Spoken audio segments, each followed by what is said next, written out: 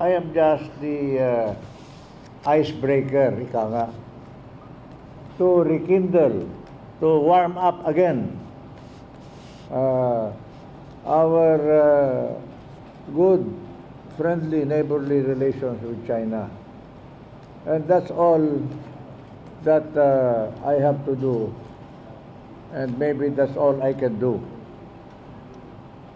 But uh, that is a big enough job as I see it, and I'll do my best. However, uh, mine is only uh, the preliminary phase. Eventually, and uh, uh, I'm sure you will hear this from the uh, high officials in Malacanang and in the uh, other departments, that uh, eventually there will be formal bilateral talks.